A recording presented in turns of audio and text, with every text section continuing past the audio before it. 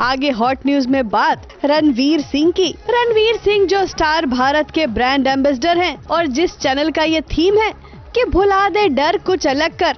शायद उसी को फॉलो करते हुए रणवीर सिंह ने कुछ अलग करने की कोशिश की है, लेकिन लोगों को डराने के लिए। रणवीर का ये लुक है फ़िल्म पद्मावती का, जिसमें वो अलाउद्दीन खिलजी के किरदार में नज़र आएँगे।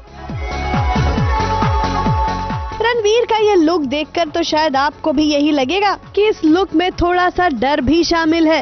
ये है एबीपी न्यूज़ आपको रखे आगे।